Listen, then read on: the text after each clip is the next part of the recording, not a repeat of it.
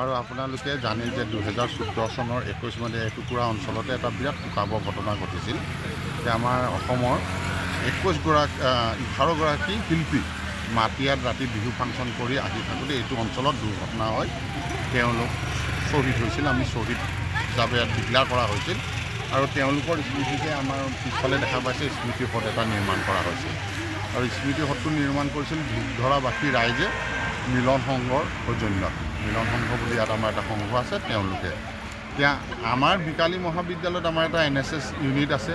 বিকালী মহাবিদ্যালয়খন আমাৰ ধূপধৰাবাসী ৰাইজে যিহেতু স্থাপন কৰিছিল গতিকে আমাৰো এটা কৰ্তব্য যে আমি এইটো এই যিটো স্মৃতি সৎ তাক আমি ভালকৈ সংৰক্ষণ কৰাটো আমাৰো কৰ্তব্য বুলি আমি ভাবিলোঁ।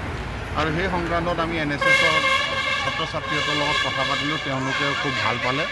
তেওঁলোক আগবাঢ়ি আহিলে আৰু সেই তেওঁলোকৰ আগবাঢ়ি অহাৰ কাৰণে আজি আমি ইয়াত কাৰ্যসূচীটো লৈছোঁ যিটো স্মৃতিসত দেখা পাইছে তাৰ চাৰিওসীমা ইতিমধ্যে ঠিক কৰা হৈছে। কিছু কিছু বাকী আছে এইবোৰ আমি বিকালী মহাবিদ্যালয়ৰ দায়িত্ব লৈছোঁ।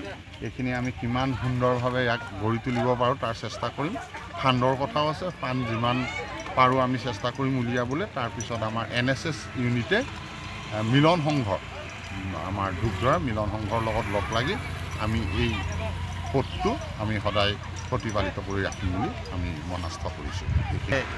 আপোনালোকে দেখাই পাইছে এতিয়া ইফালে দ আছিল আমি ইতিমধ্যে মাটি পেলাইছোঁ কলেজৰ ফালৰ পৰা। তাৰপৰা সন্মুখটো উন্মুক্ত হৈ আছে আমি পকা ফেঞ্চিং দিয়াৰ চিন্তা চৰ্চা কৰিছোঁ। স্মৃতি সদৰো কিছু অংশ টাইলছ লগোৱা হোৱা নাই সেই টাইলছখিনি আমি লগাম।